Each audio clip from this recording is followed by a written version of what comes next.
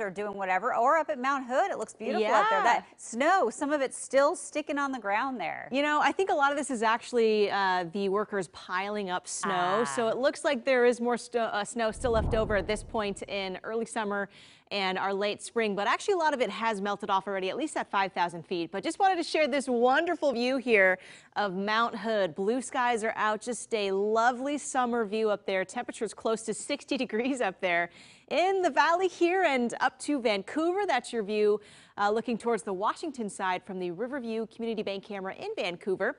Uh, you can see the Columbia right there. We're in the mid 60s here in Portland. A fabulous day shaping up. We'll soon be in the 70s here early afternoon, low to mid 70s. So again, enjoy these conditions. This is almost perfect summer weather in my book.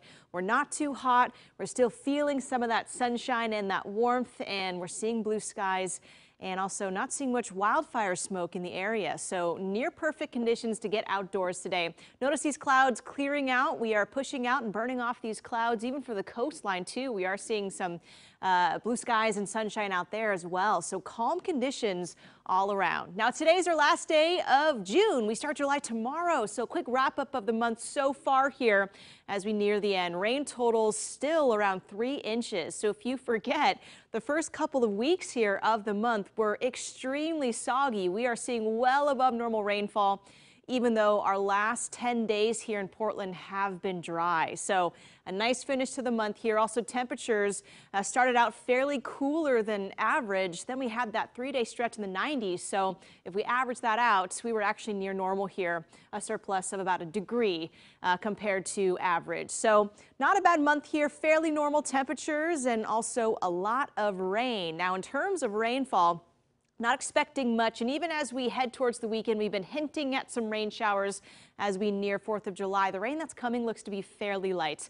Uh, as we head our way into the rest of today, we are looking dry and sunny. Tomorrow morning, expect to see another start here under some cloud cover. We'll see that nice marine push, that onshore flow winds from the west, in other words, still pushing in clouds across the coast. Some of those clouds seep over into the valley. So starting out a little cloudy tomorrow morning, we then push those clouds out, a sunny finish, another day tomorrow close to 80 degrees. Beautiful Friday on tap. Now Saturday, a weak system starts to roll in and we start to push in some moisture even by Saturday night. Slim chance we see a quick round of light showers around the valley.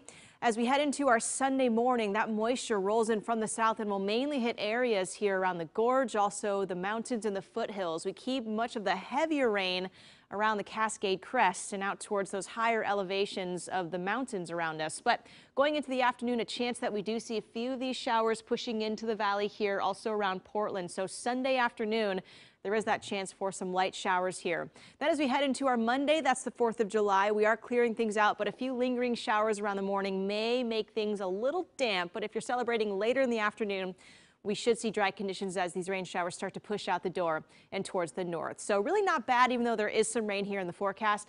Uh, for today, beautiful. We'll see sun breaks through the afternoon and a sunny finish. Tillamook today, highs right near the 70s. Warm for spots around the coastline. Low 80s today in Portland. Should just be a beautiful day and a bit toasty out there as we hit the low 80s up and down the valley. So here's your seven day forecast. Uh, we'll keep lovely conditions going through Saturday, just that round of some light showers as we head our way into Sunday and Monday. And again, if you've got plans to barbecue, celebrate outside on the 4th of July, I don't think it's going to be a washout by any means here, but a chance for some damp conditions. That's. Okay. Well, you know, we've we've had much worse years on both ends. So. That's true. So it's kind of right in the middle there, a little yeah. cooler than normal, but still not not a bad holiday. I like it. Mm -hmm. All right. We'll be right back with some more news and a final check on that forecast.